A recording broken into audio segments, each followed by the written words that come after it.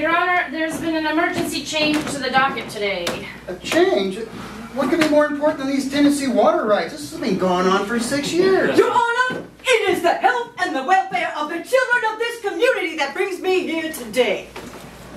When I call your name, please approach the bench.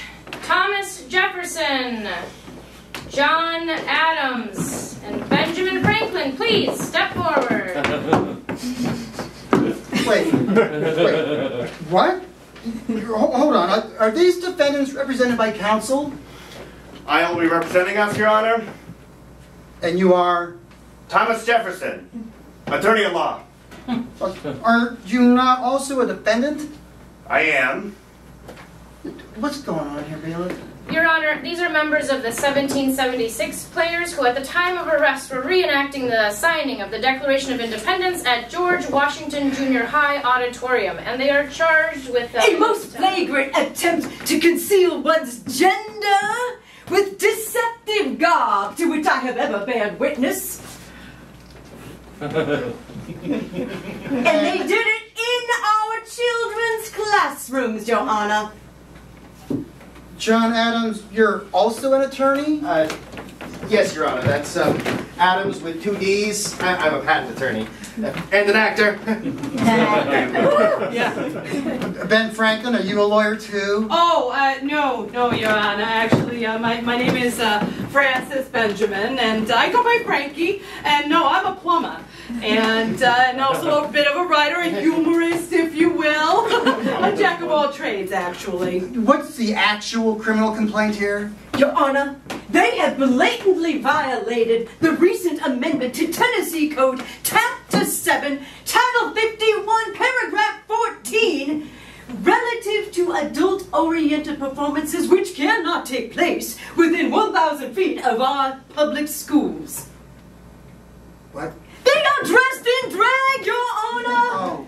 Why, just look at their wigs and their makeup stockings. Not to mention the crime of fashion they have committed by wearing white stockings with black shoes.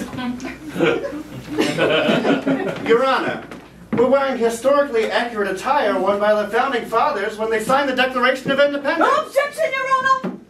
The defendants were not alive whenever that signing took place. Therefore, it is impossible to ascertain such a claim.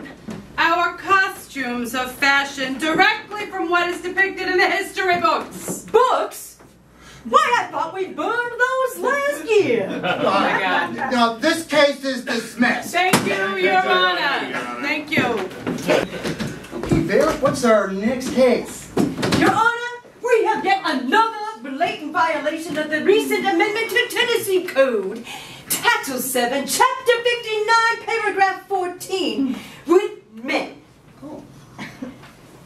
Wearing skirts in our public parks, no less, prancing around like was Catholic schoolgirls. Bailiff, can you bring these defendants forward? Will the athletes of the Scottish Highland Games please approach the bench? Oh, good.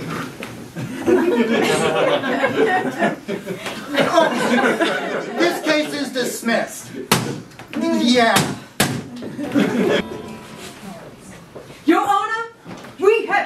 Another blatant violation of the recent amendment to Tennessee Code. Of Title course we do. Of course we do. Bailiff, could you please bring the defendant forward? Will Jesus Christ please approach the bench? Jesus. Chr- Jesus H. Christ! You do know that's not my middle initial, right? Right. My apologies, Mr. Christ. Case dismissed!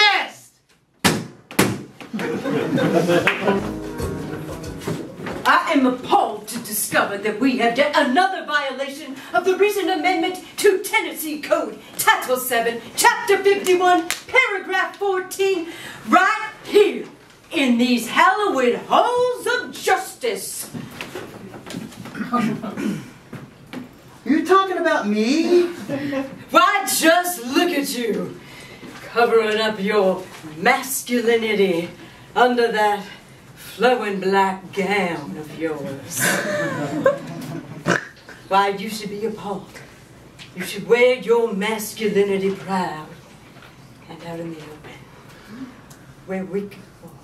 Get the fuck out of my courtroom!